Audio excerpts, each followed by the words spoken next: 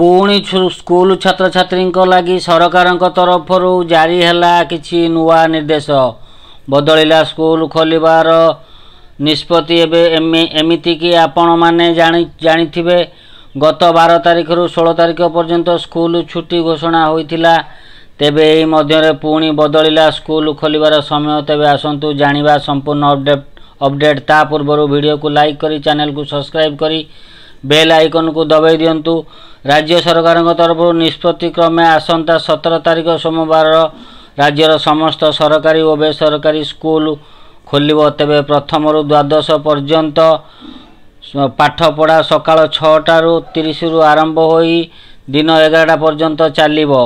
ତେବେ ଗ୍ରୀଷ୍ମ ପ୍ରବାହକୁ ଦୃଷ୍ଟିରେ ରଖି ଜିଲ୍ଲାପାଳମାନେ ସେମାନଙ୍କ ଜିଲ୍ଲାର ବିଦ୍ୟାଳୟର ସମସ୍ତ ସମୟ ନିର୍ଘଣ୍ଟକୁ ପରିବର୍ତ୍ତନ କରିପାରିବେ। ତେବେ ବିଦ୍ୟାଳୟରେ ପାନୀୟ ଜଳ ଓ ଅନ୍ୟାନ୍ୟ ସୁବିଧା ଉପଲବ୍ଧ କରାଇବା ନିମନ୍ତେ ସମସ୍ତ ବିଦ୍ୟାଳୟକୁ ଯତ୍ନବାନ ପାଇଁ ନିର୍ଦ୍ଦେଶ ଦିଆଯାଇଛି।